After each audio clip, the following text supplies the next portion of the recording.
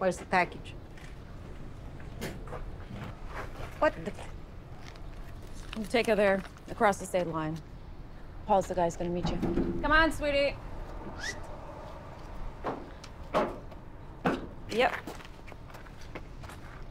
No way. No way. Excuse me? You don't understand. I don't take people. Hey! I was told I could trust you. No way I can promise what'll happen to your brother if you don't take the girl where she needs to go.